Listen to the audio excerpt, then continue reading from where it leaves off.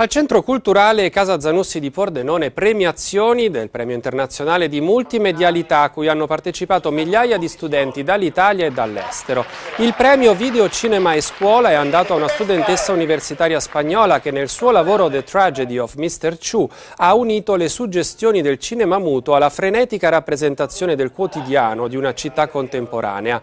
Nella sezione scuola secondaria di secondo grado premio Presenza e Cultura ad uno studente del secondo anno del liceo Leopardo Leopardi Maiorana di Pordenone per il suo avere 15 anni non è una cosa facile, un ironico bilancio del proprio passato per puntare l'obiettivo sul proprio futuro, sorridendo.